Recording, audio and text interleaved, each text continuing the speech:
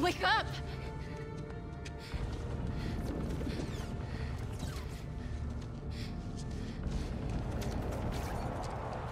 This might sting a little.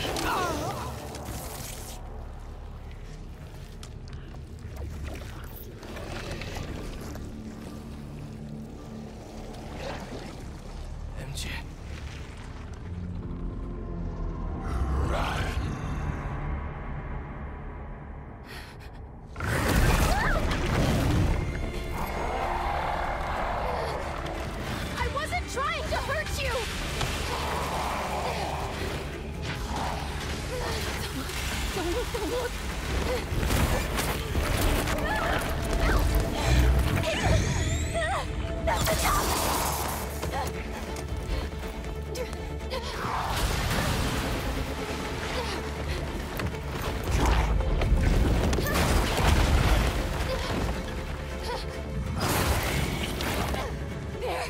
That's my exit!